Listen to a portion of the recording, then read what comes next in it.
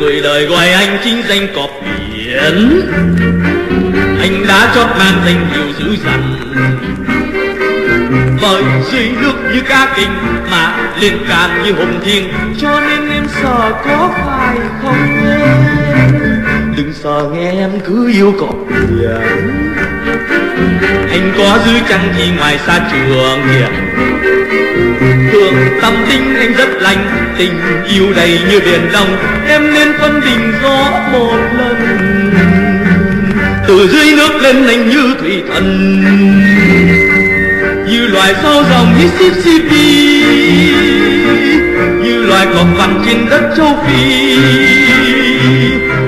em ơi còn những khi anh về nhà. Anh là quai, anh là săn anh là ngô, anh là lúa vì quân lục chiến đó em ơi.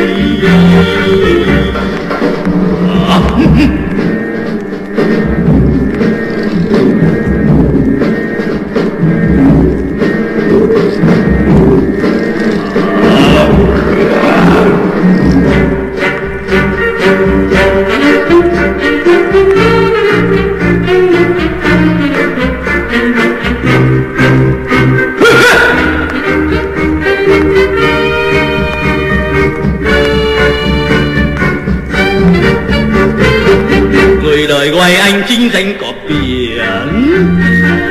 Anh đã cho mang danh hiệu dữ dằn. Bởi dưới nước như ca kình mà lên càn như hùng thiêng, cho nên em sợ có phải không em? Đừng sợ nghe em cứ vô cọp biển.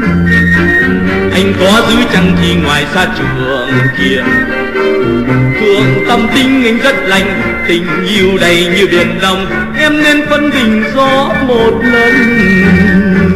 Từ dưới nước lên anh như thủy thần. Như loài sâu dòng Mississippi